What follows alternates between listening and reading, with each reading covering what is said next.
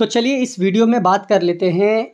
Stage one का जो आपका एग्ज़ामिनेशन होने वाला है टोटल छः यूनिवर्सिटीज़ के कंबाइंड रिक्रूटमेंट निकली थी, जिसमें central university of Himachal Pradesh Mahatma Gandhi central university central university of Jharkhand English and foreign language university university of Hyderabad और पंजाब सेंट्रल यूनिवर्सिटी भटिंडा तो इनकी कंबाइंड रिक्रूटमेंट निकली थी ग्रुप बी और ग्रुप सी की नॉन टेक्निकल और non teaching पोस्टों की।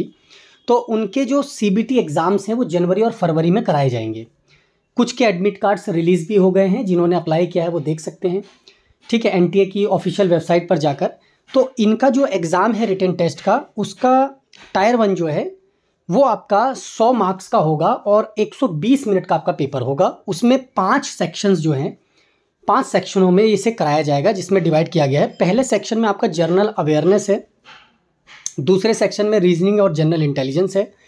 तीसरे में मैथमेटिकल एबिलिटीज़ चौथे सेक्शन में कंप्यूटर नॉलेज और पाँचवें में हिंदी और इंग्लिश लैंग्वेज यानी कि आपको चॉइस है।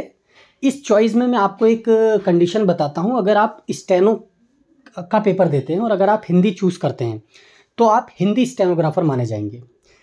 यानी कि आपका स्किल टेस्ट हिंदी में होगा और अगर आप इंग्लिश लेते हैं तो इंग्लिश में होगा। तो ये थोड़ा सा आप ध्यान रखिएगा लैंग्वेज का।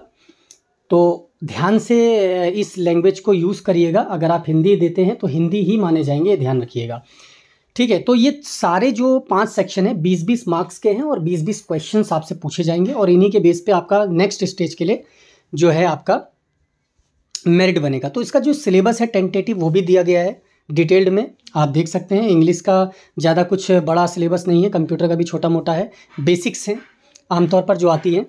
ठीक है और हर कैटेगरी का अलग अलग जो है, जो भी मिनिमम क्वालिफाइंग है, वो उसके हिसाब से आपको पेपर वन पास करना होगा। ठीक है? नेगेटिव मार्किंग है, ये ध्यान रखिएगा।